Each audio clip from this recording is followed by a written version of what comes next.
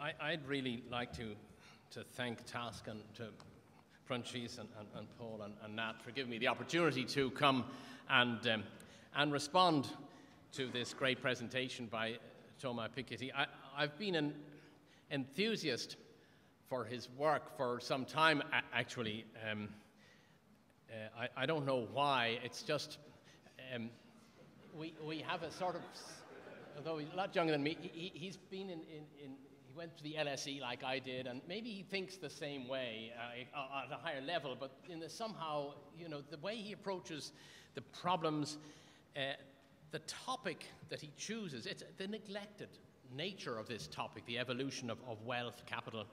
Um, it is a neglected topic in economics, and uh, he's, he's really uh, opened up a, a, huge area that had been forgotten. It's not, all, not neglected through history, but it has been neglected for the last, I would say, uh, quarter century. I like in the book the fantastic historical sweep, and you've seen some of this going from the uh, right into antiquity, and then especially the discussion of the Gilded Age, to the age of, of financialization. We didn't really have a Gilded Age in Ireland. We were, we were busy doing other things in the late 19th century, but we certainly had uh, financialization with a vengeance. So I certainly liked, um, I liked that, that historical perspective. And I found fascinating the, the analysis of the destruction of wealth and of wealth concentration, two entirely different uh, processes, but, but linked in the 20th century and, and how we may have become complacent about uh, the distribution of wealth because of something quite extraordinary that happened in the 20th century. A number of things that were extraordinary that happened in the 20th century the wars, um, the, the, welfare state, as well as the wars, um, leading to ta taxation uh, rates, as we've seen, that are not the rates that we see today. Um, and I, there are resonances, as I'll come to in a minute, with our current position with a, a destruction of wealth as, as it appeared in, in, um, in recent times in Ireland. I also like kind of matter of fact concern that uh, Thomas has with inequality. So he's not here uh, you know, he's, there aren't any red flags flying, but the, the theme of inequality is absolutely central. I mean, it's, it's, it's obvious to him and to me that inequality matters a lot in, in our societies and, and could matter a lot more if, if, um, if certain things happen. And I very much differ with those who have, um, who have reviewed his book uh, in various places and said, well, um, what's, what's all this inequality? Doesn't matter. Just growth is the only thing that matters. I don't think that's right. Um, and in his book, I think you'll find fascinating the discussion of the contrasting role of inheritance and accretion of, of wealth in generating wealth inequalities and how different forces have been at work at, at different times particularly the, the growth of, of uh, super salary income in the last, uh, I guess, 30 or 40 years compared to um, the inheritance mechanism that was there in the 19th century. And then, of course, there's the famous R minus G dynamic, this neglected dynamic. So R minus G. I don't remember R minus G from uh, my days at, at um, UCD or, or, at the LSE. And then you say, uh, economists then say, what is this R minus? Oh, that's obvious. Okay, so maybe it is obvious, but why did we not talk about it, and why did we not study it, and why did we not see the force and importance of it? So I think that is really, you know, it's a, a really valuable insight. And you know, I'm, I'm sorry to disappoint you, but there's no however. I'm not going to say however. there, uh, Oh, of course, there'll be there's lots of lots of debates, lots of questions and discussions. Um, but for me, the book is just a tour de force, and I don't want to come and then quibble and critique and if and but. Uh, what I would like to do in the time that I have is to is to pull out a, a couple of charts and show you the Irish context, particularly the context over the, the, the boom and bust period, and how that in a way links up with, uh, with the sorts of things that Thomas has been uh, talking about with a much greater sophistication and, and a lot more, more detail. And, and, look at the Irish crisis through this, through this special lens, a lens of data on capital and wealth. And that's really, that's really the focus of the book. Here is data and data on capital. Uh, not so much data, a lot of data on income inequality, a lot of data on lots of things, but especially on capital wealth. Well, do we have the data for Ireland, and can we? Uh, uh, well, at the aggregate level, and trend, aggregate trends in household wealth and in, in public sector wealth and so forth, uh, we do have that data at least for the last uh, 10, 10, or 15 years, and then in, in, a, in a spottier way uh, going back before that. And, and I'll, I'll, show you some stuff about that. Uh, on distribution, we actually don't have, we more or less don't have uh, data on the distribution of wealth in Ireland. Um, I'll qualify that in a minute. Now, now, we do have data on income distribution. And in the spirit of the first slide that, that um, turns out that it was this first slide that, that Toma had, it was, I think, um, the top income share, the top decile in the United States. And he showed it coming down in the first half of the, of the 20th century, uh, Kuznets data he mentioned, and the 50s, 60s, 70s flat, and then it started to rise in the 1980s. And the data we have in Ireland, actually, I see uh, Brian Nolan's in the front row. He's uh, his, all the errors are in his. um, so this is data from Brian. He also has collected data. It's based on income tax sources, and, and he has some data for earlier years, but the, the, the, steady series runs from, from the 1970s. And we see here in Ireland exactly the same story as in the United States, an upward trend, a very clear upward trend in the share of the top 10%, and indeed in the top 1% of, of, income, income in Ireland. Uh, and by the way, and the same pattern mentioned by Tom but, but not shown, but we can actually see it here. Okay, if you just look at the blue line, that's the share of the top 10%. The, uh, the green line or yellow, whatever it is, line is more or less parallel. In other words, the increased share of the top 10% is actually the increased share of the top 1%. The next 9%, God help them, did not increase their share. So actually, they're not the same people, 1975, 2008, but it is, uh, so, so the very parallel development here in Ireland. But that's income distribution. What about wealth?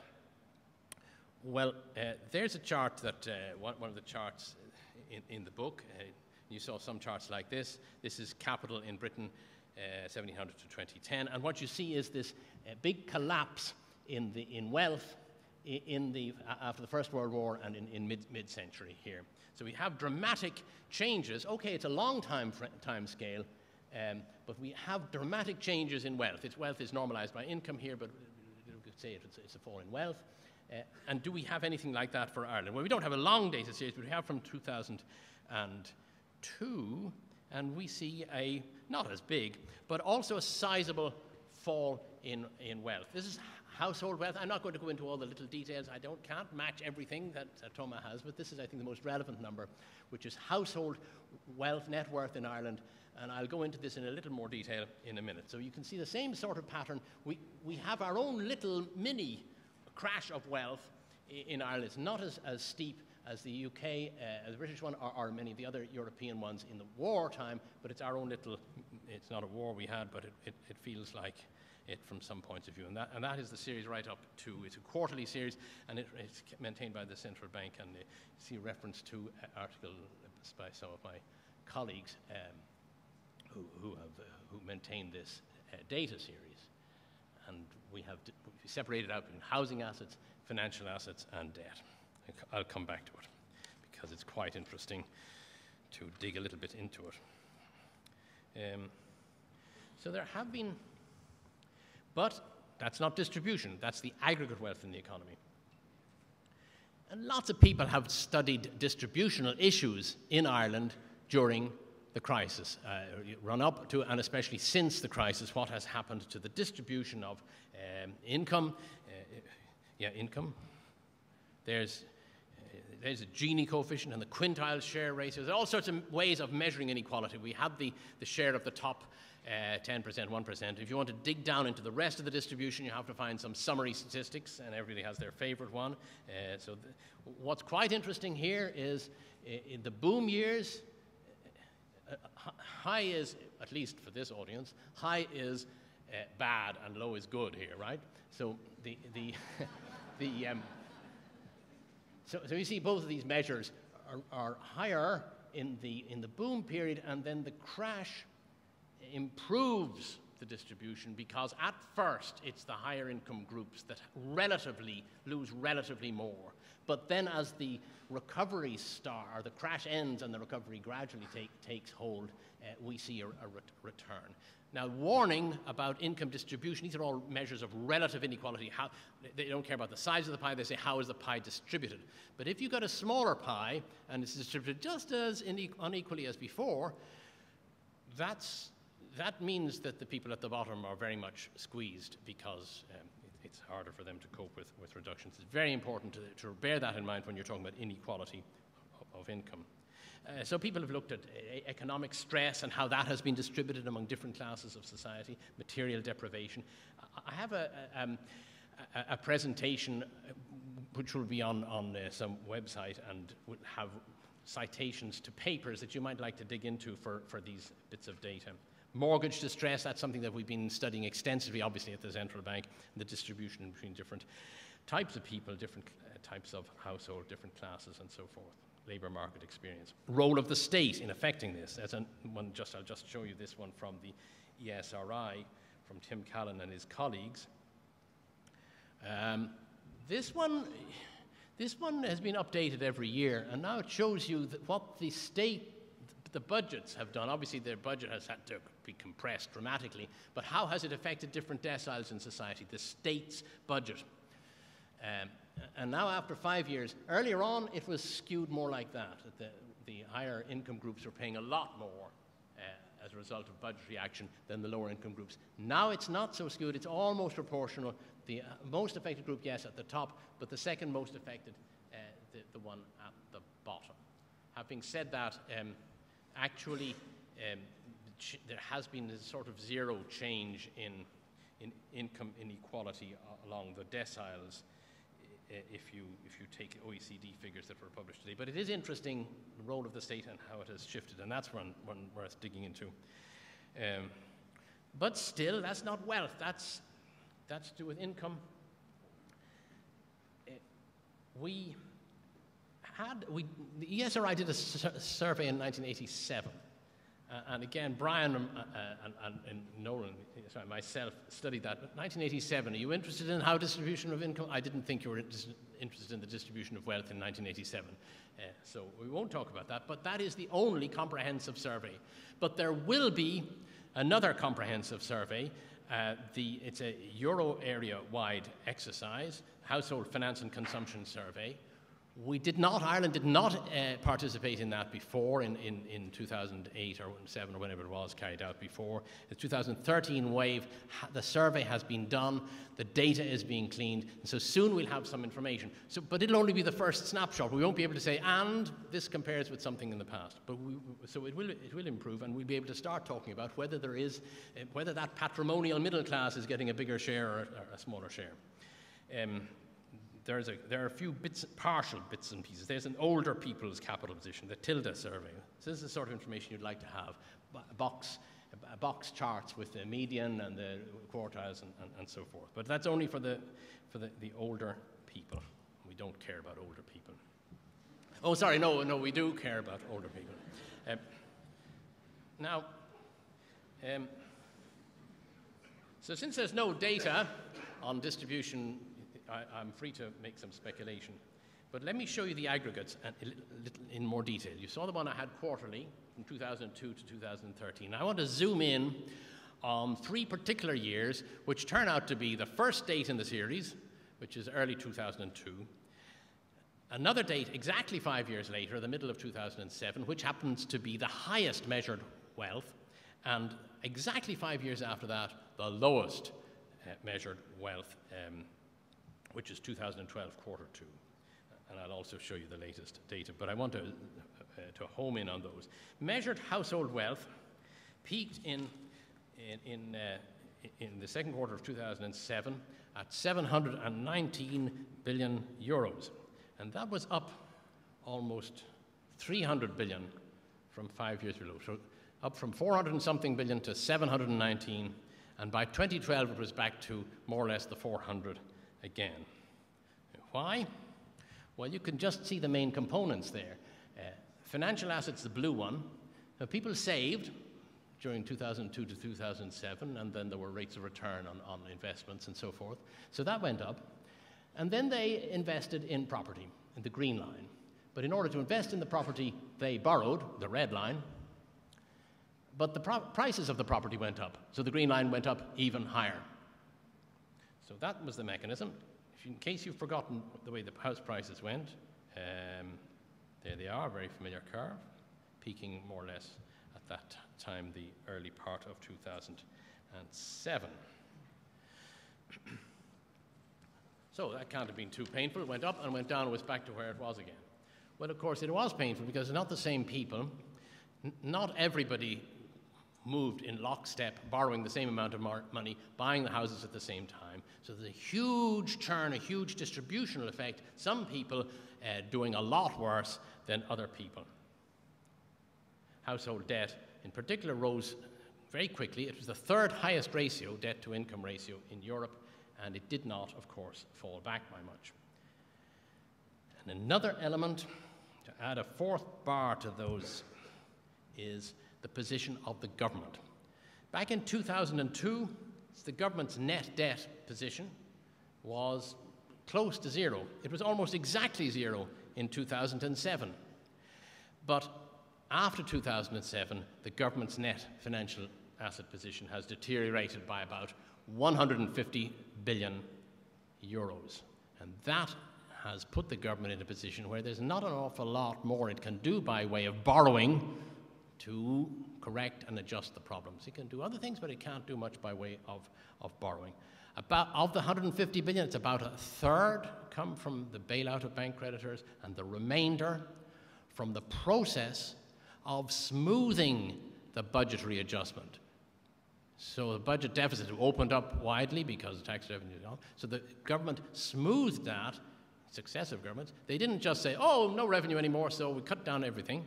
It may feel like that, but actually they smooth it smooth it much more gradually than in Greece or Spain. And that means a lot more debt by, by the middle of 2012. Okay. So that means it's not painless, of course, if you, because the household, even if the household doesn't own, owe the government debt, the household sector is going to have to pick up the pieces through taxation uh, over the coming years. So you, you could sort of add together the household and the, the government position. I'm not going into the corporation, the corporate sector. That, let's that, that may be a technical discussion. Terribly difficult to in, integrate the corporate uh, figures into this because of the role of multinational corporations in that. And I think this gives the essential, the essential picture. And you can see the government plus household net wealth, the way that's moved up, down, and then slight improvement to 2013 quarter four. I think I haven't referred constantly back to, to the presentation, but I think you can see that the concepts that I'm using are as, you know, as close as, as I can in a short period of time to, um, to what, um, what Toma has been, been focusing on, but really concentrating on our crisis and how these great big secular movements can be affected by a, a short, uh, a, a short period of time where dramatic effects happen.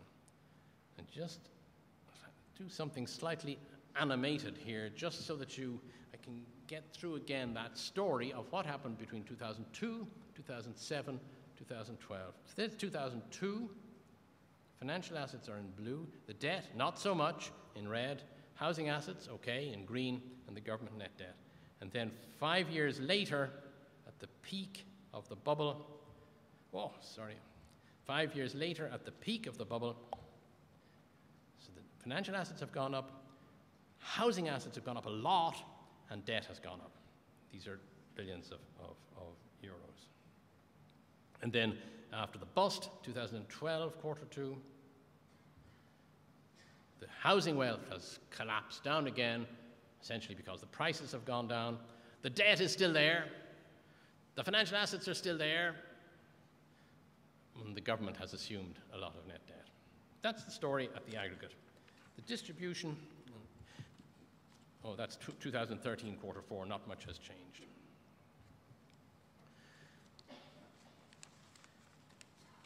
So the whole size distribution of wealth uh, moved to the left on those charts. So the rich people, on average, had less, and the poor people, on average, had, le- had less. The whole size distribution moved to the left. It moved those at the bottom of the distribution into very negative wealth positions. Now, is there more wealth inequality as a result of this process starting in 2002 and, and today? Uh, I'm just going to say we may take it that there has been much wider inequality. I thought of spending five minutes to try to go through step by step why I think that is so, but I, um, I thought that uh, I think it's un- unnecessary. I think we may take it that the distribution has widened considerably as a result of the, the crisis. Furthermore, there has been a churn. It's not just a question of analysing the relative impact of the bust on those who were rich versus, before the boom, before, uh, versus those who were poor before the boom. There's, for example, there's the loss of net worth it was concentrated on those, mainly on those who borrowed mid, mid decade. And this group was in turn concentrated on the age group 30 to 45. That's well known. There's a chart. That's from um, um, an ESRI CSO uh, paper, the distribution of, of people in negative equity and borrowing. And that's a huge change in society as well. So, what should government be doing about all this stuff? And as I've mentioned, it's kind of uh, it's kind of difficult for, for uh, the government when it is so strapped. And actually, it's something that society should be thinking about and is thinking about, but I find a huge divergence, fundamentally different views, fundamentally different approaches to the questions of ownership and debt as they apply to this crisis. On the one hand, I meet a lot of what I would call contract fundamentalists. Say, okay, I'll just pay. Um, you signed here, where's the money? And they, and that's of course very important we can't, the system can't go if people don't honour their, their, their, um, their debts. But, but fundamentalists who disregard the extreme nature of the crisis that has occurred and has caused situations where actually the contracts cannot be fulfilled. On the other hand, there are those who say, well, I don't have any, I don't attach any importance to conventional principles of ownership and, and private property. And with such a wide discrepancy of views, I don't think there has been a, a very uh, uh, well connected discussion about how the society should have coped with this situation or how it is coping with this situation. Now, different societies have dealt with problems like this in different ways. Very often, a, a boom and bust cycle has ended in a huge wave of inflation. That's actually the way most of these boom and bust crises have ended. Uh, they, the, the inflation redistributes wealth as well. So the bust redistributes wealth and inflation redistributes wealth in a different way. And there's a sort of rough and ready uh, crisis over. There are still a lot of debris and a lot of people who uh, it's, it's not a, a perfect offset. Um, it's, it's very crude way of, of, of, resolving these situations. And we know that there are subsequent output losses, so the, those countries don't do very well after that. Anyway, it's not on the cards. We don't actually have a, a, a domestic control over, over inflation. We, we, um, so so uh, there's no point in, in, talking about it. But it is worth remembering, uh, speaking to the contract fundamentalists, that that, that has been uh, something that's happened in, in those in many other countries over, the, over history. But the state has little capacity then and little appetite for a transfer from taxpayers. I didn't say taxpayer burden, I just said from taxpayers to those indebted households who can still afford to service their debts. So, a carefully phrased sentence there. So, there's little appetite I observe little appetite for a transfer from taxpayers to those indebted households who can still afford to service their debts. I think most people, I think that's a statement of fact. So we're back into the arena of um, insolvency legislation, and that has been modernized. I don't need to uh, in inform this audience about. Wind up. Yes, I'm going on too long. You're quite right. Uh, this part is not very interesting anyway. So. Uh, I just want to say that in the central bank we have really tried to think hard about these questions and tried to find out of the box solutions, tried to find, uh, you know, could there be a one size fits all debt modification scheme that for un- unaffordable debt? That, and no matter how hard we try, we can't find something that, that, uh, that works. Everything that we came up with was poorly targeted and, and, and, and too costly. So we do agonize over this thing. I think society should agonize over it. I don't know that there are better ways out of this than we have so far found. If there were, we would have been loudly advocating them. I think Thomas' book has really highlighted the fact that this is not just a particular type of problem that we're facing, but it's an aspect of large historic movements in, uh, in, wealth, in capital, and debt that are important in economic history and for the future of our, all our societies. So I'm sorry for going on too long, Paul, no, but no, uh, there fine. you are. I'm very talkative Perfect. guy. Perfect. Thank you.